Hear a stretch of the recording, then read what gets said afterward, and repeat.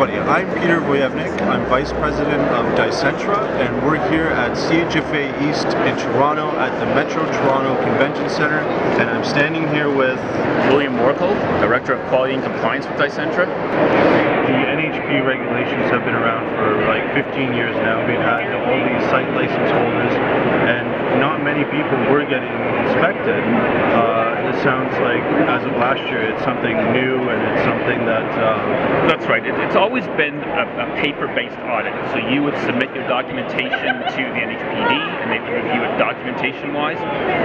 Two big flaws with that system. Number one is people could pick and choose what documents they want to send.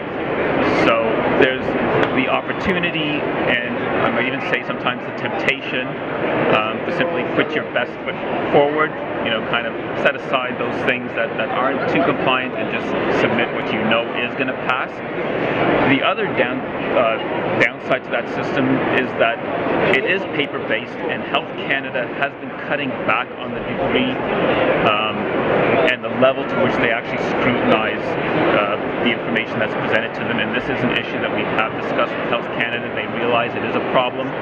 Um, in part it was due to their backlog originally, in part due to cutbacks. So it is not getting the level of scrutiny it should at the licensing phase.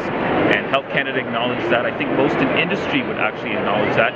So those non-compliance issues carry over into post-marketing level and I think this is kind of the root cause of it. So my hope is that Health Canada will become not trying to lock, you know, trying to you know, after the divorce, it's already got the flu locking the, the barn door, which is kind of what on-site auditing is, but actually step up their pre-marketing assessments to make sure that they are being evaluated properly.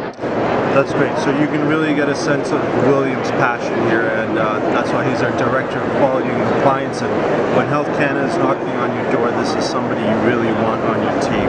Yeah. And like William said, the regulations are good, they're challenging, but we can help you turn it into an opportunity. Thanks for listening. Thank you.